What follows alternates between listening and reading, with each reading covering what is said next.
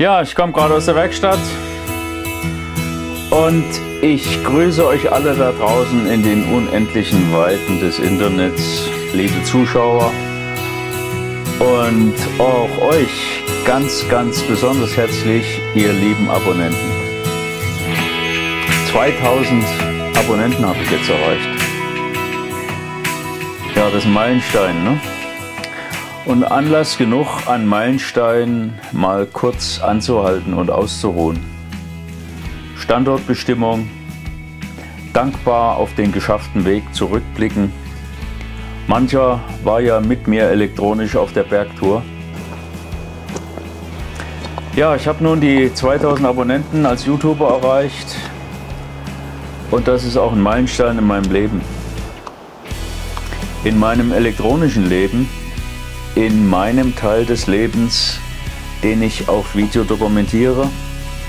Und dieser Teil meines Lebens, in das ich euch hereinlasse. In einen Teil meines Lebens, in mein Werkstattleben. Ja, man gibt schon einiges von sich preis. Man hält sich allerdings selbst den Spiegel vor wenn ich mich selbst beim Videoschneiden beobachten muss. Würde ich nie machen. Nee, filmen lasse ich mich nicht, habe ich schon oft gehört. Dabei täte es manchem wirklich gut, sich selbst mal zu spiegeln und die eigenen Marotten und schlechte Aussprache und schlechten Angewohnheiten anzuschauen. Was man nämlich mit seinem Auftritt auch irgendwo anders, was man mit seinem Auftritt anderen alles zumutet. Ja, wie hat mich das früher auch gestört, die Filmkamera im Verkaufstraining. Ich war ja Chemieverkäufer im Außendienst. Nein, ich wollte mich nicht von so einem teuer eingekauften Verkaufspsychologen umkrempeln lassen. Ich war doch erfolgreich mit meiner eigenen bilde mir ein, ehrlichen Art. Ich war doch authentisch. Dennoch kann auch so ein Video helfen, besser zu werden. Never Ending Improvement, also die nicht endende Verbesserung, nie aufhörende Optimierung. Seit ich vor 40 Jahren für DIN ISO-Zertifizierung als Qualitätsmanager arbeitete, versuche ich diese Grundhaltung auf mein Leben, auf mein ganzes Leben anzuwenden. Und das ist nicht unbedingt Perfektionismus, der mir auch oft unterstellt wird. Wie auch der Apostel Paulus sagt, ich hab's noch nicht ergriffen, aber ich jage ihm nach. Er meinte zwar den Kleinod der himmlischen Berufung. Naja, nachjagen. Ich komme mir dabei oft vor wie bei einem meiner Marathonläufen vor 20 Jahren. Der Sieger lag schon lange auf dem Sofa daheim, als ich zwei Stunden nach ihm endlich eintrudelte. Nun ja, YouTube. Boah, 2000 Abonnenten. Und noch viel mehr gucken meinen Kanal. Es sind ja gerade mal 10% der Zuschauer, die abonniert haben. Als Redner bei meinen Kundenschulungen stand ich vor 50 Leuten. Und jetzt sind es hier durchaus mal 20.000. Warum mache ich das überhaupt? Meine selige Mutti lachte sich vor ein paar Jahren kaputt, als ich ihr zu Füßen etwas reparierte. Hihihi, ich denke, mein Großvater kriecht vor mir rum. Sie meinte, ich wäre meinem Urgroßvater so ähnlich. Ich habe den nie kennengelernt. Der war wohl auch ein begnadeter Bastler. Wie gern würde ich dem alten Gustav bei seinen Tüfteleien vor 80 Jahren zusehen. Und ich selbst habe viel von Alten gelernt. Meine Enkel könnten das mal, die Videos anschauen, meine und ich denke, die Videos sind bei YouTube sicherer als auf meinen empfindlichen Festplatten. YouTube, warum mache ich YouTube? Jetzt mache ich mal Werbung für YouTube.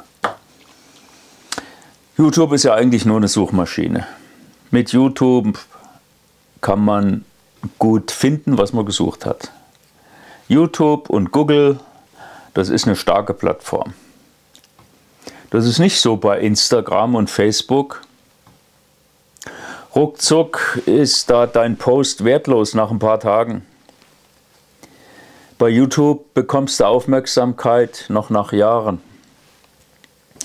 Jeder Nutzer von YouTube, also ihr, seid circa 50 Minuten pro Tag auf YouTube und ihr seid aufmerksam dabei. Bei Instagram, da geht das nur so im Bus, echt nebenbei mal durchscrollen. Aber auf YouTube kannst du Impulse geben und kannst selbst Mehrwert bekommen und deinen, der vielleicht interessant sein könnte für andere, und kannst deinen Mehrwert anbieten. Und bei YouTube hast du eine wirklich gute Interaktion mit deinen Zuschauern. Das ist da weniger personengebunden, mehr thematisch sachbezogen. Der Inhalt ist auf Mehrwert für den Nutzer ausgelegt. Ich habe erst vor kurzem einen Freund äh, empfohlen, wegen deinem Heizungsthermostat, guck doch mal nach. Ja, tatsächlich, mehrere Videos hat er gefunden und wusste gleich, sich zu helfen. Das heißt, andere haben ihm geholfen. Ja, Facebook gucke ich zwar auch mal rein, aber selten bekomme ich da was für meine Interessen eigentlich nur in den Gruppen, zum Beispiel meine E-Bike-Gruppe. Äh, wenn da einer ein Problem hat, dann äh, haben alle anderen auch was davon. Die Gruppe habe ich gegründet, sind mittlerweile über 100 Mitglieder. Ja, YouTube ist an die Stelle meines Fernsehens getreten. Hier kann ich wann und was ich will. In YouTube tauche ich gerne tiefer in ein Interessengebiet ein, auch mal in was völlig Neues und dann bekomme ich dann immer tiefere Informationen geliefert. Kann ich angucken, muss ich aber nicht.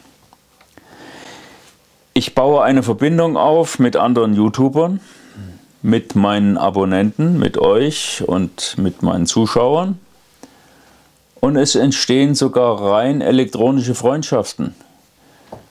Man denke an den Stickertausch, den ich nicht besonders forciere, aber die Sticker mit den Freunden, daran erkennt ihr, mit denen bin ich am intensivsten im, ja nicht im Stickertausch, sondern im Austausch, auch mit Kommentaren unter den Videos von meinen YouTube-Freunden. Ja, die Zielgruppenabdeckung bei YouTube ist äh, sehr groß.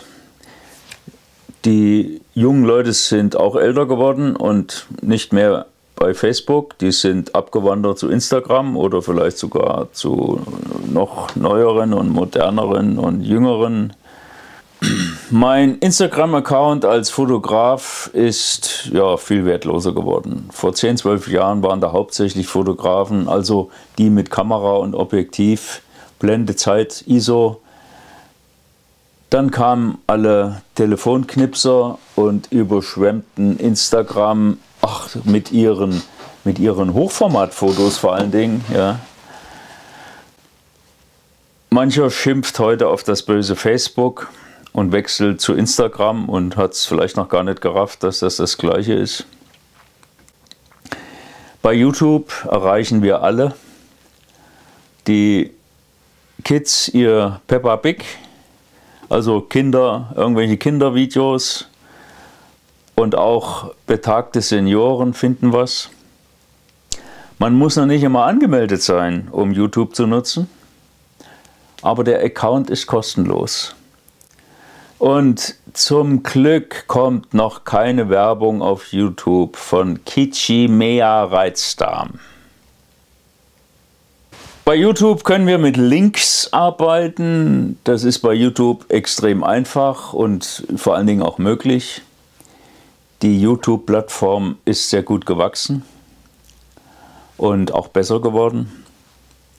nervig bei Instagram irgendwelche Stories zu machen und Leute zu suchen und musst immer alles am Smartphone in diesem ätzenden Hochformat machen und wenn du mal was suchst, was 14 Tage her ist, dann kannst du dir einen Wolf suchen.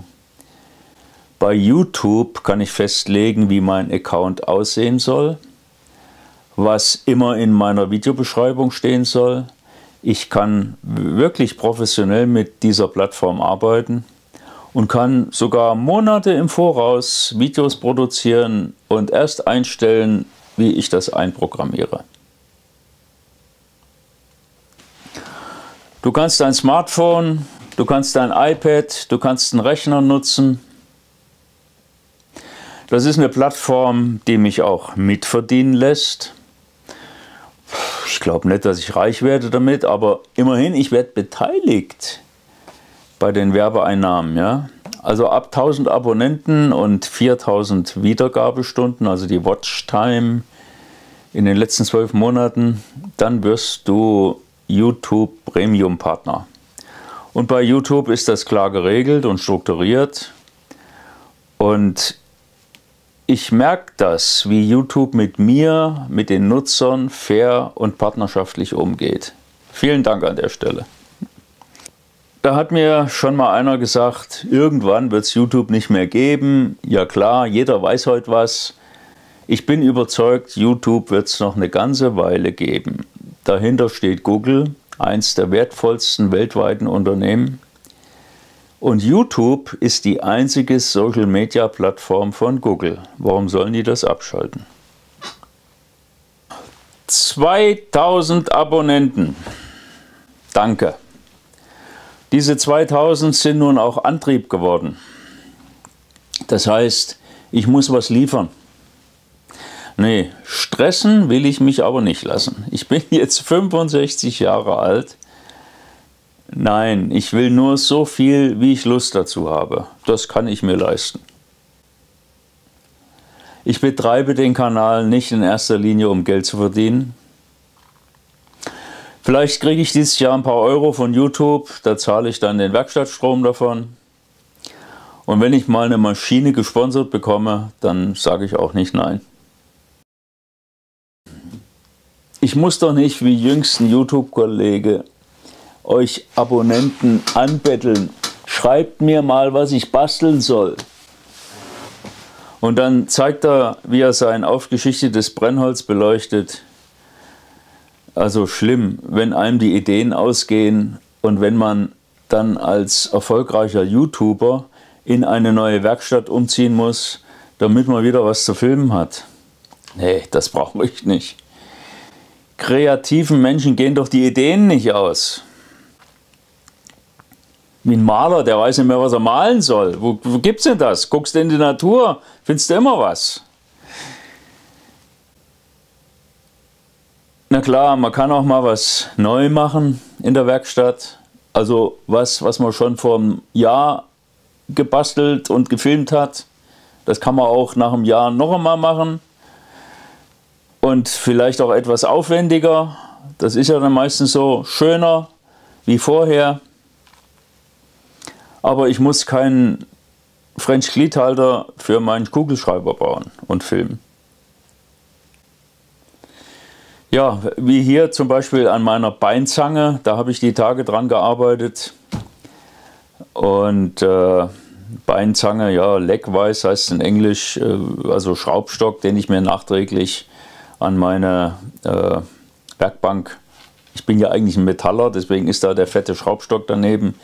Äh, aber ich brauche als Holzwerker natürlich auch so eine schreinermäßige Spannmöglichkeit und Guckt euch das Video dazu an. Äh, das habe ich vor einem halben Jahr gemacht.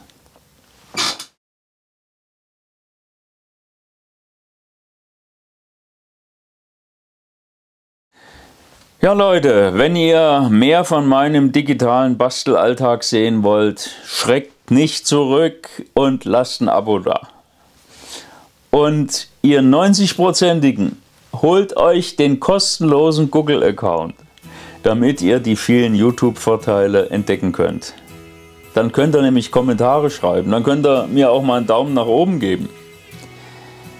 Ich bedanke mich nochmals in allerschärfster Form, dass ihr meinen Fernsehersatzkanal anschaut.